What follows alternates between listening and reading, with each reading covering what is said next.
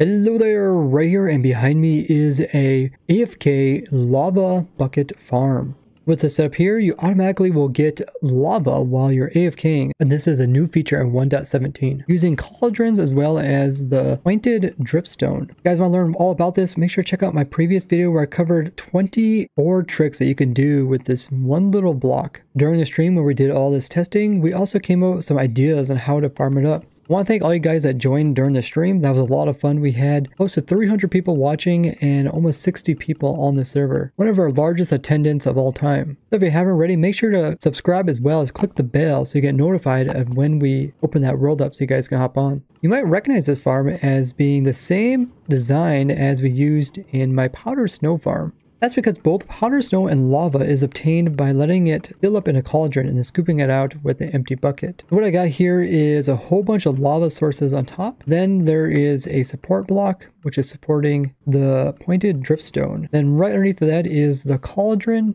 Then over time, the cauldron will fill up with lava. Then you can scoop the lava out and that will provide you with a lava bucket. Now these actually fill in really fast. In 10 minutes, 80% of all cauldrons will be full. And also add some improvements I talked about at the end of the powder snow farm, like having a cauldron in all the rows. So it is a solid area full of cauldrons. So there's a lot more area for to farm up the lava. The way it works is a player will be inside of a minecart riding this rail system. You'll have 16 buckets on you and then you will aim right on the edge of one of these feet here. So let me scoot over a little bit, right about here. So notice I'm looking at actually two different cauldrons every time I move over one block. Look at this cauldron and then when I move over I'm looking at this cauldron.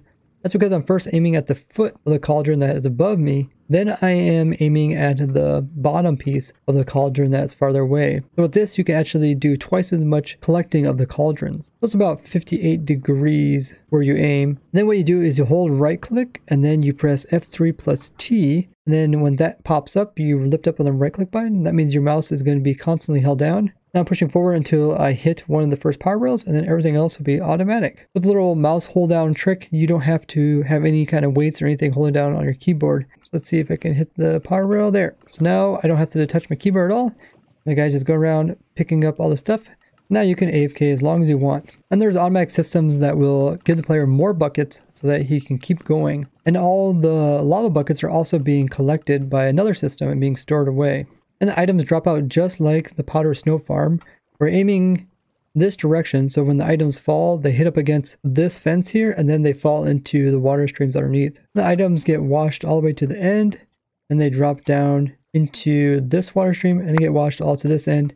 And you can have some hoppers and put them into chests. Each lava bucket does take up one room. They do want to have a lot of storage. You can see my alt in here scooping up any lava that comes in front of his face. And because the player is holding right click, the game only checks to see if it can scoop up something or use the hand every four game ticks. So it's not going to collect every single lava source that's in front of the player.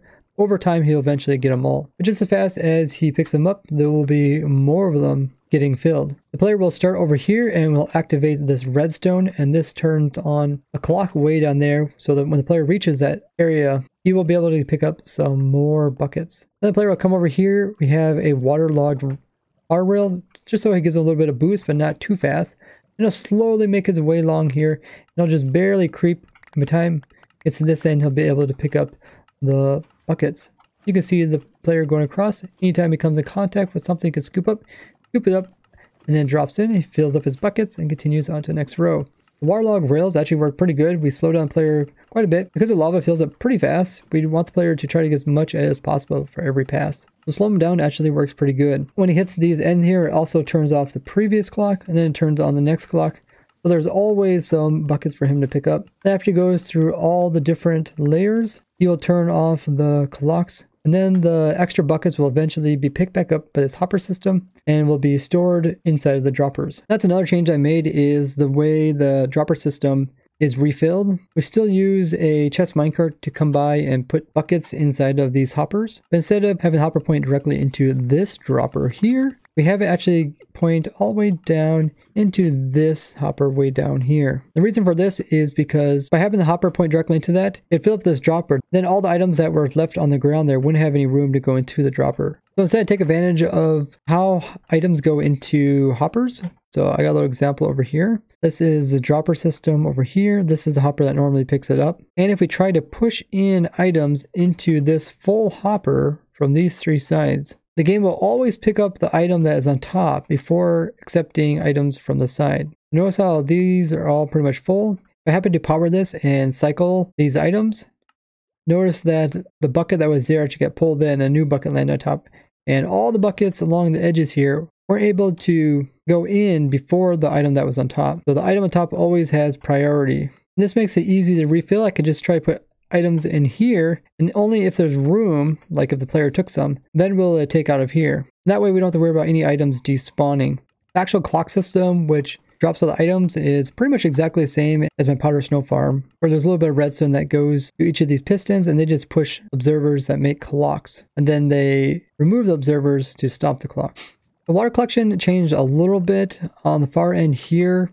Instead of all the items falling into a single water stream, I just made it too wide. The reason for this is I put in that new type of reloading system for the buckets, which takes up a little more room. So some of the redstone kind of hangs down into the water. So I lower the water all down by one. And every row is not exactly the same. Like this row has a gate and then this row has a trap door. And that's to let the redstone vent in there. I also keep the trapdoor powered by something. I'm using redstone block. You can use a lever. Just so it doesn't flicker, it just alternates like this the whole way across. This way when the player comes around here and he like scoops up this cauldron here, sometimes the player is about saying about right around here by time item gets thrown out and it'll throw it over here and he'll still be able to make it down into that hole. Or when it comes into the next row, he goes underneath of here, there's no cauldron, he goes this direction, and right around here, he starts throwing items out. So we don't need as big a hole for items to be caught. The trapdoor just prevent items from getting shot this direction when they come down the water thing and getting shot into the area where the redstone is.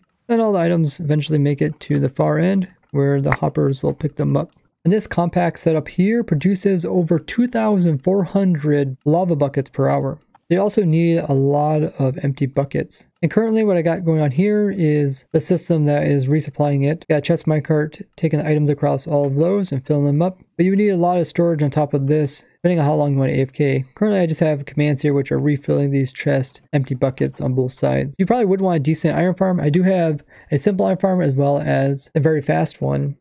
You can find links down in the description. But you would have to craft those into buckets. If you wanted to make like kind of a automatic way of getting buckets, you could have wandering traders spawn and kill those because when it turns daytime after being invisible, they'll drink a milk bucket and then you kill them during this time, you have a chance of getting a bucket. Definitely not worth it with a farm this fast, but you can get buckets automatically. Now when you do use up your lava buckets, you can turn around and take the empty buckets and resupply the system. So you can hook this up to like a furnace array as lava is one of the best sources of fuel. But I personally don't think this will be the way people fuel their furnaces. And the reason for this is because you have to use a player scooping the cauldrons in order to get this renewable source of lava versus having something like a bamboo farm where it can automatically break off the bamboo and, and use them for your furnace array. The player just needs to be within the area, but he doesn't actually need to be holding any buttons down.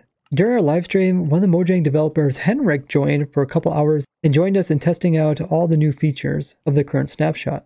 And the question he asked us was, do we think that it's too overpowered having a renewable source of lava? More precisely, should the lava source which it's pulling its drips from eventually run out? And after thinking about it, I don't think it's overpowered. Reason being is that lava itself isn't too overpowered. There's not a ton you can do with it. Probably one of the more useful things is a fuel source. A thousand seconds of cooking in a furnace is pretty good, but in my opinion, it's just too manual. Especially since there's no like way to use dispensers and empty buckets to automatically scoop from the cauldrons. As much as I wish there was that type of redstone in the game, so that as soon as these filled up, we could automatically scoop them up and take the lava bucket to like a furnace. At that point, the developers might find it too powerful and then they might nerf it so that it uses up the source. Now, if they do make it use up the source, all you would have to do is take one of these lava buckets, bring it back to the top, and dispense it using a dispenser. So that part could be automated. But besides like smelting or trading with the villager, there's not too much else you can do with it, especially on large scales. You might use a little bit of it to inside of a mob farm. Now, the top here has to be solid sources of lava. To even build this farm, it's going to take a lot of sources, which you can get to the nether dimension, but you can't use like the flowing parts of it that won't produce any lava. It has to be directly above the source. If you want to, you can expand this farm as it is tileable. You can make this as big as you want, but it does only fill up the cauldrons during random ticks. And like I said earlier, in 10 minutes, there's an 80% chance that the cauldron will be full. But I personally don't think you need to make the farm any bigger than this, unless they come up with some new uses for lava. You could always use it to make obsidian. This seems pretty tedious compared to using like the obsidian platform or just getting it from bartering. Now, if you do let this farm fill up and then come here to AFK, make sure that the first round you go ahead and have two stacks of buckets and switch them before they go empty. Because you're aiming at twice as many cauldrons per row, and there's 16 here, you could use up all your buckets and then you'll be dropping out lava on the ends here. You could prevent that by putting like some trap doors here or something so the player can't lava log them and you can't break rails with lava anymore. So then you really wouldn't have to worry about it too much. And then every round afterwards you can AFK without worrying about anything. If you worry about these items landing here, you could put in some trap doors underneath the rails and then Open the trapdoors so there's emptiness and let the items fall through. Player could still ride his minecart on top. And they have a little bit larger water system underneath to collect all the items. And if you are building this, make sure to build this in the same direction like I have it here. Now if you are AFKing this, you do want to prevent phantoms from coming down. But one easy way you could do is just by putting some blocks over top of all the places the player is exposed to skylight. Now this build is inside of the same world where I do all my 1.17 testing as well as all my 1.17 farms. So if you haven't seen my other farms, I'll link them down below. There's two different types of copper farms. There's Amethyst Shard, Amethyst Bud, and Shulker Shell farm, and the Powder Snow farm. Plus now we also have the Lava Source farm. And if you made this far in the video, make sure to give the video a like as well as share with others so they can check out these cool 1.17 farms in their world. As always, I have the world downloads in the description. I would like to thank you guys for watching. I'll see you guys next one. Bye bye.